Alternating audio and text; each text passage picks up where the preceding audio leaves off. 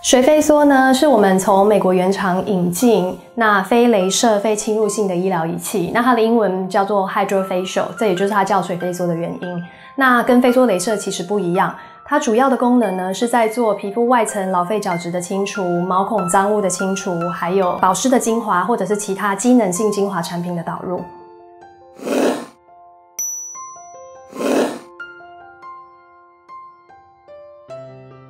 那这个水飞梭哈，它其实主要的特色就是它本身有一个专利的技术，叫做 Vortex Technology，那就是它有特别的探头。那它整个机器其实我们在完整的疗程里面，它是有三个探头的。那这个探头它透过负压还有水的冲刷呢，那能够把我们皮肤表面最外层排列不整齐的老废角质带走。但是我们透过犀利的设计跟医师对皮肤的掌握，我们可以选择性的带走我们觉得需要带走的，但是能够留下其实我们皮肤最外层的角质层的保护层。那同时它也可以把我们就是毛孔浅层的脏污把它洗走。那在做完了基本的清洁之后呢，那它的其实同样的，它这个水温轮的技术也能够帮助我们把皮肤需要的保湿啊，然后抗氧化的精华液导入皮肤里面。那跟一般的就是说，哎，可能我们去做就是磨砂的去角质啦，或者是说就是单纯的哎就是保湿的做脸，其实它是相对比较温和，但是又比较有效率的。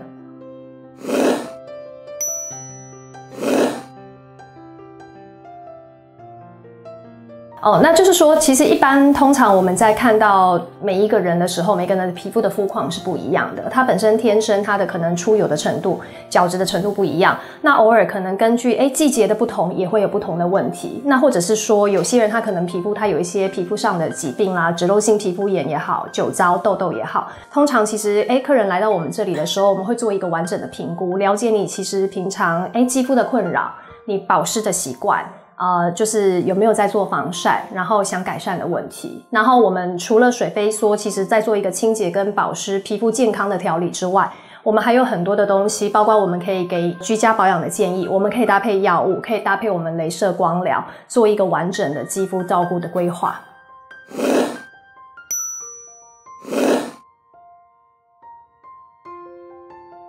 其实水飞梭它基本上就是非镭射嘛。所以它们两个差异是很大的。水飞梭比较在做的就是清洁跟保湿肌肤的调理，那它在皮肤的层次是比较着重在我们的角质层、毛孔上端还有表皮层的部分。那飞梭镭射它本身可以穿透的深度比较深，可以到我们整个真皮层的部分，而且因为它是镭射，它可以透过镭射的光热效应去刺激我们皮肤长新的胶原蛋白。所以其实飞梭镭射我们其实使用的范围也很广，我们可以处理细纹，然后可以处理凸的疤跟凹的疤。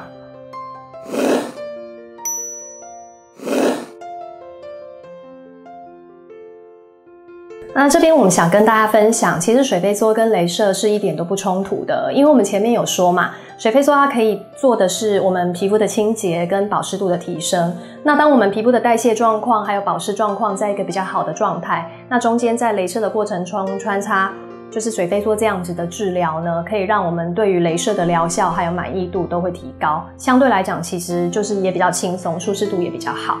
那如果单纯讲水飞梭的话，水飞梭适合什么样的人？其实就是希望，哎，我们不要恢复期，那我们希望皮肤可以变得比较滑细，亮度可以比较高，然后粉刺啊，就是皮肤的颗粒感可以改善。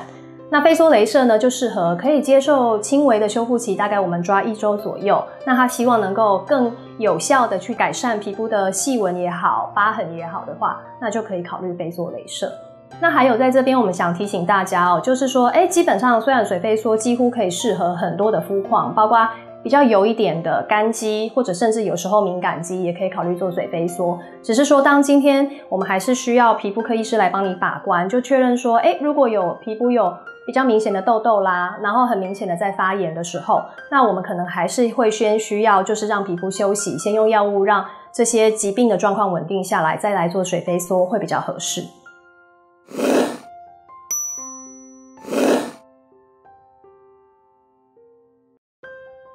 水飞梭刚做完当下，其实你就可以感受到说，哎，我们的皮肤是比较亮度比较高的，然后摸起来比较滑细的。那回家也会觉得说，其实在擦自己的保养品的时候，吸收度也会比较好，就是比较水嫩的感觉。那通常最完美、最棒的感觉，大概都是做完的一周会是最好的。到底效果可以维持多久？其实跟每个人自己居家保养的习惯、他的肤况，例如说他角质卡回来的速度啦，皮肤出油的速度，会有一点点的差异啦。那不过，大部分的人其实我们考虑到说，其实角质细胞代谢的周期是一个月，我们大部分抓一个月的时间。那另外，其实水飞梭也还蛮适合有一些有特殊场合，例如说他可能有特殊的活动啊，或者是哎结婚前拍婚纱前，他希望他肤况很棒的时候来做一个相对比较密集的保养。